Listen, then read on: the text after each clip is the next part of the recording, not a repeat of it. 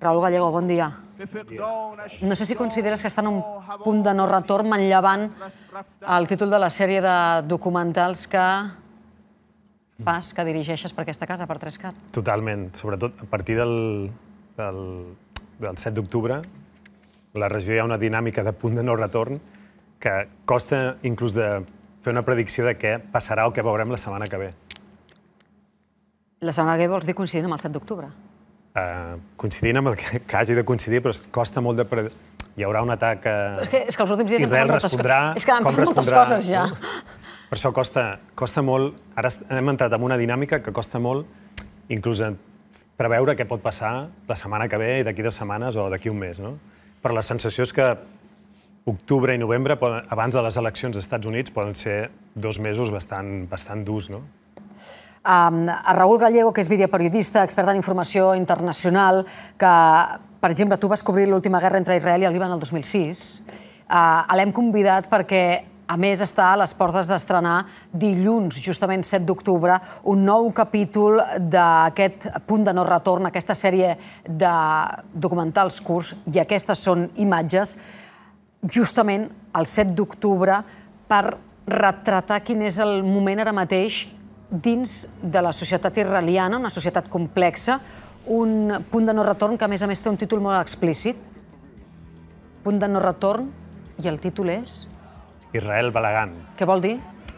És la paraula que Israel, els israelians utilitzen per dir caos, merder... Quan hi ha un problema, els, els periodistes, quan anem a cobrir una manifestació allà, et diuen hi haurà Balagan, hi haurà merder, hi haurà problemes, no? es, es liarà. Pues, és una forma de descriure aquest caos i aquesta confusió que es troba ara mateix Israel. Israel Balagan sense interrogant és el títol d'aquest nou episodi. Ho dones per fet. Eh, mm, mm, És més que evident, no? Les divisions internes que hi han no només el, ja tenen el conflicte extern, com expliquen alguns dels protagonistes, i estem vivint una, gairebé una guerra civil o un conflicte intern alhora que estem lluitant contra gent de fora. No? És com doble balagant, no? com dirien ells. Cap a fora i cap a dins. Eh, quins són aquests grans conflictes interns que té Israel i que retrates en aquest documental? Israel, la societat d'Israel sempre ha estat molt, molt dividida, no? Però ara, amb els últims anys, i sobretot amb el govern de Netanyahu, que s'ha aliat amb una extrema dreta messiànica, ha posat més, més de manifest aquestes divisions, inclús aquests monstres que s'han creat dins d'Israel, no? les divisions entre els laics, no laics, ultra eh, religiosos, que no volen eh, anar a l'exèrcit, que no paguen impostos, i els, els ultrareligiosos, ultranacionalistes messiànics que creuen en, en un estat eh, d'Israel que va més enllà de les fronteres actuals. No? Uh, una de les qüestions absolutament tabú a, a Israel és manifestar-se en contra de l'ocupació de territoris palestins, um, que de fet és la llavor de tot aquest, de tot aquest conflicte. Un dels protagonistes d'aquest eh, documental és un noi, uh, l'Itamar, que es nega a servir a l'exèrcit d'Israel pel seu rebuig a participar en l'ocupació de Cisjordània. Aquest noi s'enfronta a una pena de presó i diu això. אני חייב לשרת בצבא, והחלטתי לשרת. החלטתי שאני הולך להתגייס. ואז בעצם התחלתי תהליך של חשיבה, וזה היה שני תהליכים בעצם, אחד פוליטי ואחד אה, אמוני, שהם בעצם היו משולבים אחד בשני, כי אני עזבתי את הדת כאילו, כי אין שוויון בדת, כזה התחלתי, הפסקתי להגיד את הברכה של שלא עשה לי אישה, ואז בסוף אתה מבין שזה זה לא הדרך שלך. אתה יוצא לשטח, רואה עוד יותר רואה, עוד יותר רואה, אז נגמרים החיים שלך. אתה רק אה, אקטיביסט שעוד ינצח בסוף. La, la trajectòria vital de l'Itamar explica moltes coses d'Israel, perquè ell forma part d'una família eh, israeliana jueva eh, i ell trenca amb això. És, és un cas molt especial. Ell té la sort que, malgrat venir d'una família ultraortodoxa, vaig conèixer els pares i eren molt oberts i el respectaven i el, fins i tot el recolzaven, tot i que no en tenien la seva opció. No? Però és una minoria, molt minoria, que entenen que, que la clau del conflicte és, és l'ocupació, no? I que no pots realment ser una democràcia quan estàs ocupant, no? O com ex- expliquen eh, quan veieu el reportatge, no pots tenir una democràcia només per Israel, pels jueus, i, i tenir aquesta ocupació, no? Eh, aquest és el gran dilema i la gran dificultat sobretot també una, diuen, la única democràcia a Orient Pròxim, però els teus drets dins Israel depenen de quina religió tens, no? Tu, si ets jueu, tens certs drets. Si ets eh, cristià o musulmà, tens uns altres drets. Parlant de drets, eh, tu també parles amb líders del moviment dels, dels colons, amb ultraortodoxos, que en aquest cas eh, estan convençuts de tenir el dret diví per ocupar totes aquestes terres. Què et diuen? Que ells mateixos deien... Jo no faig l'esforç d'explicar a gent que no sigui jueva el meu dret diví, perquè no ho entendran. Jo només intento explicar per què aquest és el meu dret diví, que Déu em va donar el dret de, de, de viure aquí no? i de que aquesta sigui el nostre país, la nostra terra. Eh, el, els jueus que, que estan oblidant-se d'aquest dret diví i que s'estan tornant eh, més laics, no?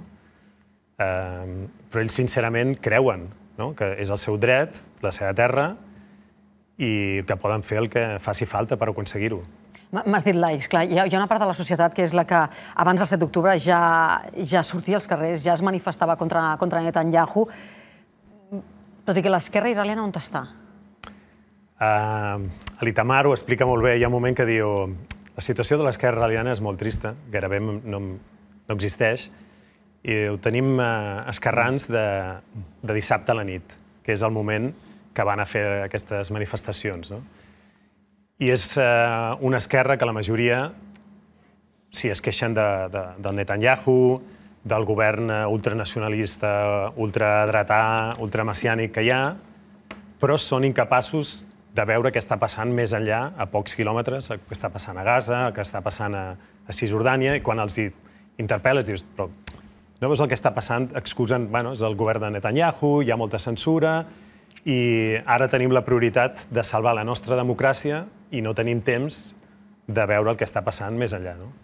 Avui és divendres, avui és el dia sagrat pels musulmans, avui a Iran, a Teheran, i aquesta pregària d'Ali Khamenei que té la càrrega eh, de, de la situació que ha portat al Pròxim Orient, aquestes són imatges en directe de la capital d'Iran, eh, ell no és en Khamenei, eh?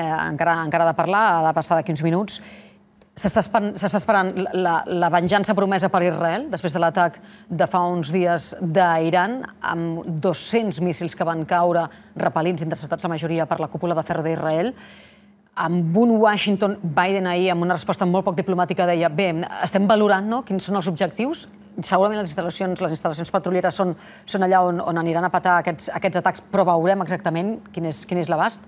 Tu veus una guerra directa entre Israel i l'Iran, si és que no ha començat ja? Crec que estem més a prop que mai no, d'aquesta situació.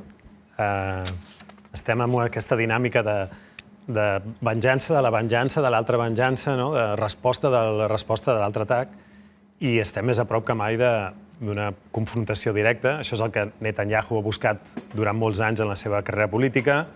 És un moment que políticament al Netanyahu li convé, perquè la seva popularitat, a mesura que fa aquests atacs, aquests assassinats, aquest, entrar dintre el Líban, torna a ser popular, és una forma d'allargar la seva vida política i no s'hagi d'enfrontar als casos de corrupció que estan allà esperant i l'estan investigant, i està aliat amb, amb, dins del govern, té aquest grup de gent ultrareligiosa, ultramessiànica, que ells creuen que han d'anar més enllà, a part del tema de seguretat, que, que sí que és veritat doncs, que hi ha un sector de la població que està cansada de que Hezbollah estigués, estigués bombardejant el nord del país i hi hagués tot de gent de, desplaçada. No?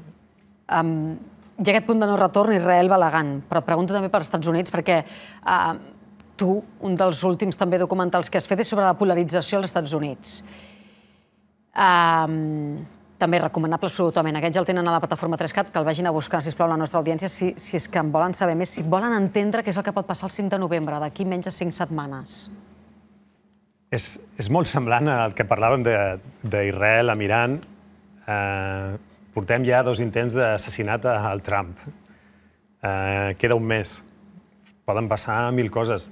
A mi el que em va quedar d'aquest reportatge era tan fàcil era demòcrat, demòcrata o republicà, o tothom tenia la sensació de que guanyi qui guanyi, pot haver-hi algun tipus de, de, de merder, confrontació social...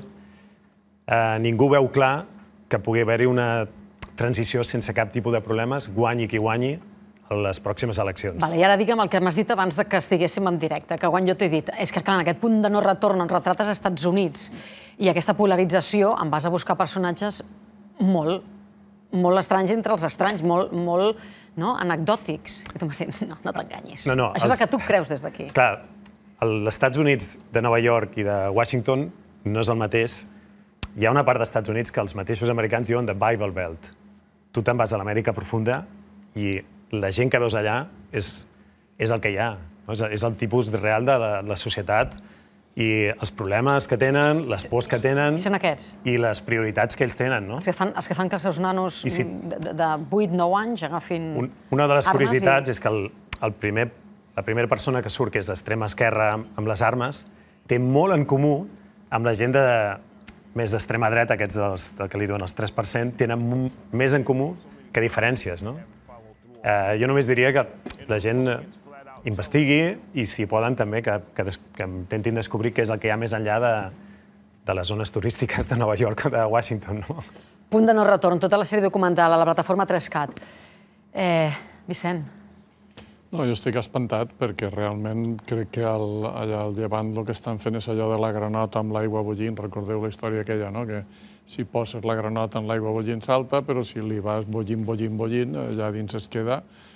Clar, ja hem vist un intercanvi entre Iran i Israel que era impensable. És a dir, fa tres setmanes, crec que va ser, això, tots diem això no pot passar perquè el dia que passi això eh, ja, ja estem fatal, no? Bueno, ja n'hem vist un, en tem que en veurem un altre immediatament, però no només això. Jo crec que en les últimes hores n'hi ha un element que ha canviat que és extremadament perillós, que és que cada vegada sembla més probable que Estats Units entre en guerra directament amb Iran. Alto, eh? Això és, això és la situació més perillosa que ens podem imaginar al món avui en dia. I estem tocant-ho, estem aquí mateix, no? I clar, no es veu per enlloc la manera de frenar aquesta dinàmica. Primer perquè, òbviament, al govern de Netanyahu i a tots aquests sectors els interessa, com més, com més grossa siga la guerra millor, Uh, però, clar, les conseqüències d'això uh, és, pot ser molt dramàtic per a tots. Nosaltres estem a quatre hores de vol d'això. I, i, I ens toca l'economia, ens toca tot. Però és que, espera't, si passa això, Rússia no es pot quedar quieta. Té uns interessos molt importants aquí. I si Rússia no es queda quieta i està en aquest embolic, aquest balagant en marxa, la Xina tindrà que fer alguna cosa. És a dir, es- estem realment en un precipici. No, no, sí. Absolutament en un precipici. Estic totalment d'acord. Jo crec que hem d'aprendre a vegades a, a, a fer una lectura, i sobretot el conflicte de- d'Israel i Palestina, amb diferents nivells. No? Hi ha el nivell geoestratègic, amb agendes d'un cantó i de l'altre, que portem molt anys, després a, a nivell local, no? I després, a, i després al nivell també inclús el conflicte aquest religiós i de la terra de fa molts anys. No? A nivell global geoestratègic estem en un moment molt perillós, no? Eh, amb el mateix amb la, amb la guerra d'Ucraïna. Estem, cada vegada ens estem apropant més al precipici sí, aquest I, i el que fa pues, que costa de- d'entendre no? la setmana que ve què, què pot passar. No? La- L'altre dia parlaven que un dels bombardejos que va fer Israel a Síria era molt a prop, gairebé tocant una de les bases de, que, rus, que hi ha soldats russos. No? Clar. I després una cosa que el, el Raül és una excepció en això bona, no? però està passant, a més, en un moment en el qual Israel està aconseguint fer la guerra sense donar accés al periodisme, en cap cas. I A Gaza no hi ha ningú, pràcticament no, no, ningú, portem un any sense reportant els mitjans està occidentals passant. haver pogut entrar. si no recordo malament, 116 periodistes morts des del 7 d'octubre, uh, i ara ho estem veient al, al Líban. És a dir, en aquests moments n'hi ha combats al Líban i ningú pot veure què està passant al Líban. No? Això és una tàctica israeliana que jo no recorde que s'hagués fet mai perquè ni en el temps de la guerra de l'Iraq es feia, que també és mm, especialment perillosa. Sí, jo estic d'acord que el, que el que hi ha en aquest moment és una reestructuració del, del poder eh, global i realment això també té alguna cosa a veure amb el que va passar a Ucraïna. I és aquesta... Eh, a Ucraïna ja hi ha hagut un, un, un, dos bàndols i hi ha hagut dos bàndols que s'han armat entre ells. És a dir, que a Ucraïna hi hagi hagut eh, armament eh, iranià no és casualitat i que Xina estigui copiant determinat armament iranià i, i viceversa, tampoc és casualitat. Per tant, el que estem és amb una recomposició que pot ser perillosíssima. I aleshores, per, anar, per intentar fer el, el, gran, el, gran, el gran conflicte a, a trossets, fins a quin punt eh, Israel no veu, perquè no entenc, o sigui, ho ha d'estar veient, o sigui, quina és l'estratègia d'Israel a Líban, perquè una ocupació de Líban, eh, Hezbollah no és Hamas, és alguna cosa molt més important que Hamas, i Hamas eh, l'han pogut aniquilar, però és molt difícil que s'aniquili a Hezbollah, perquè al darrere té l'Iran de moment, i pot tenir Rússia, pot tenir Xina, és una altra cosa. Fins a quin com, com t'expliques aquest intent d'entrada de, de, a, a Líban i, i si creus que això és la, la porta a una, a una guerra molt més llarga? Jo crec que hem entrat en, en aquesta dinàmica de fora de control, no? De, a vegades sempre... Aquest és un conflicte que a la gent li agrada no? prendre part. Sempre dic, un, mirem els, els drets humans, els crims de guerres, no? I hem entrat en aquesta dinàmica, com tu has dit, no hi ha drets eh, per la premsa, totes les resolucions de la ONU, que inclús fa molts anys se les passen per on volen, eh, és un estat no fora li, de control. No li permeten l'entrada al, al secretari general de l'ONU? I a més amb, amb, amb el recolzament absolut d'Estats de, Units, d'Anglaterra. Fa poc es va filtrar una informació de que Anglaterra va recolzar amb més de 100 vols d'avions espies eh, sobre de Gaza, no? Hem entrat en aquesta dinàmica que Occident ha perdut tota la credibilitat, no? i Israel, pel que sigui, està desbocat amb aquesta agenda eh, que sembla ser que crec que acabarà amb bombardejos a, a Iran.